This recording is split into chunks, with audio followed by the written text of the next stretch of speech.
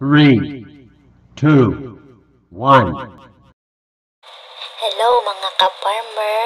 Ah, ngayon po, andito kayo sa aking vlog at pasensahan nyo na po ako at medyo mahiyain pa ang aking boses kasi naman po, first time ko lang po itong gagawin at plan ko talaga po na mag-vlog para habang nag-uumpisa po akong mag-kambingan or farm umpisa pa lang po is iba-vlog ko na po at sana po is patuloy nyo po akong suportahan sa aking inuumpisahang vlog.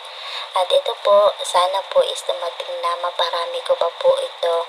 Uh, makikita nyo po is ang kulungan pa lang nila eh dating kulungan po ng manok. Yan po yung dati kong alaga. Ngayon po nagplan kami na kambing naman. At medyo yung iba naman po is mga anak eh medyo maliit na kasi ang bumababa na po is mga kapatid. Uh, sila na po yun kaya medyo maliit na po yung nagiging anak.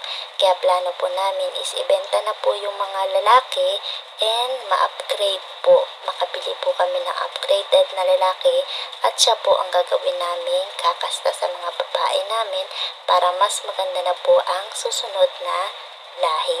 At sana po ay subaybayan niyo po yung mabibili naming barako. At yun lang po. At salamat po. Thank you sa panonood.